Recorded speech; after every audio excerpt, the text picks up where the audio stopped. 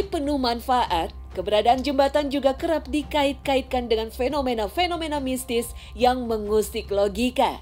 Bahkan ada beberapa jembatan yang melegenda karena kisah angkernya.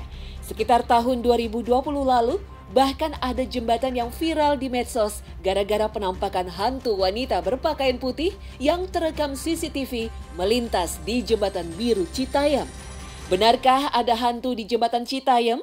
Selengkapnya di Secret Story.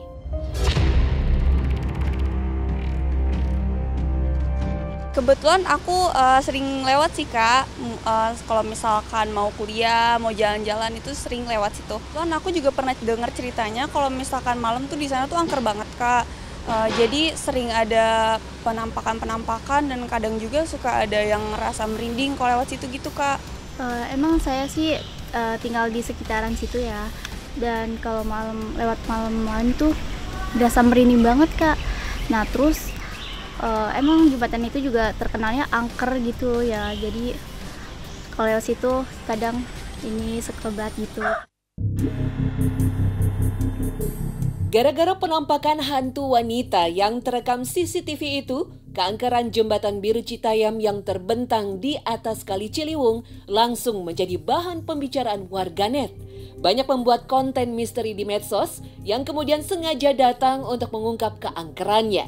Mereka penasaran Menurut kesaksian warga, sejak dulu jembatan biru Citayam memang berbalut kisah-kisah menyeramkan yang bikin bulu kuduk berdiri. Dengan penghuni goibnya yang kabarnya suka mengganggu dan mencelakai pengguna jembatan.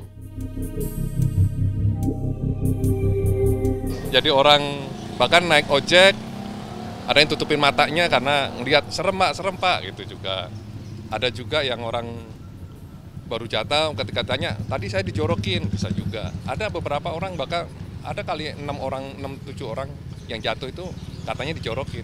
Yang jatuh adalah di sini di ujung sini. Kalau dulu di sini ini penuh bambu bu. Bahkan ini tempat saya ini juga penggalian pasir. Bahkan pasirnya paling bagus menurut nah makanya banyak yang datang ke sini pakai mobil ambil pasir. Nah di bambu. Mungkin dibilangnya ya tempat-tempat yang jiduan anak gitu. Ya bisa dibilang penunggu bisa dibilang ada yang datang tuh. Dari atas sana turun ke bawah. Pas sampai tengah jembatan hilang gitu. Suara sih pernah ke orang minta tolong gitu. Tapi pas diparanin tuh kagak ada Warga sekitaran Depok yang akan menuju wilayah Kalimulya pastinya memanfaatkan jembatan biru Citayam sebagai akses penghubung atau jalan pintas. Dinamakan jembatan biru karena jembatan tersebut memang dicat warna biru. Hanya saja karena suasananya sepi, ditambah lagi posisinya cukup tinggi di atas kali Ciliwung, menimbulkan perasaan ngeri saat kita melintasinya. Kabarnya ada saja orang yang kesurupan diganggu penghuni jembatan saat melintasinya. Tapi orang kesurupan, saya ada lihat beberapa orang, mungkin dua atau tiga kali orang kesurupan. Dan itu ketika ditanya itu katanya ya penunggu jembatan ini. Kalau setahu saya ya laki-laki serem, gede, hitam gitu.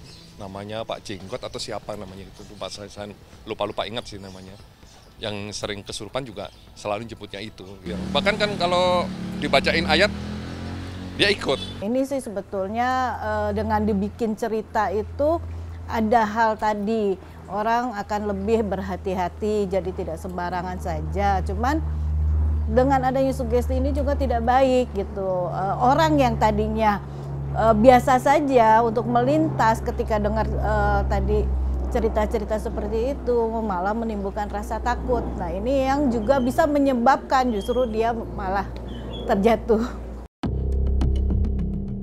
Menurut penuturan warga, jembatan biru awalnya berupa jembatan bambu sederhana hasil swadaya masyarakat kampung hutan dan pondok rajet dibangun sebagai jembatan alternatif untuk memudahkan warga yang beraktivitas ke Depok atau sebaliknya.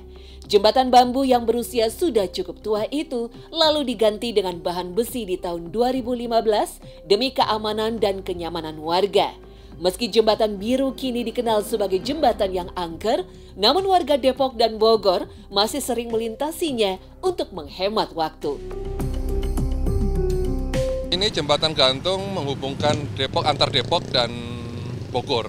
Dan ini jembatan paling strategis di mana jembatan ini bisa memperpendek orang datang mau ke Bogor atau mau ke Depok itu sendiri daripada lewat depan lewat Citayam.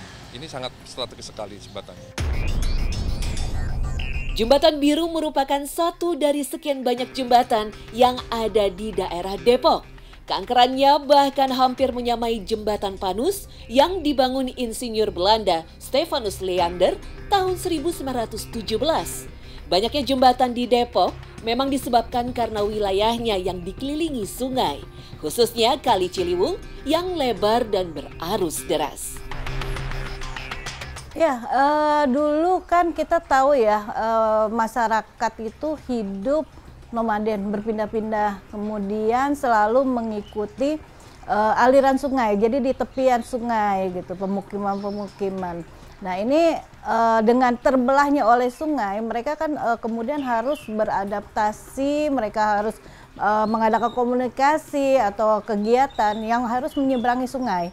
Nah ini pada awalnya kan juga seperti misalnya sungai Ciliwung Ciliwung ini kan tidak lebarnya tidak seperti sekarang. Tentu saja dulu juga sangat uh, luas ya lebarnya, kedalamannya juga uh, sangat dalam. Nah, ini pada awalnya uh, untuk menyeberang dari uh, bagian itu dia yang terbelah oleh sungai ini, mereka dulu menggunakan eretan yang dibuat dari bambu.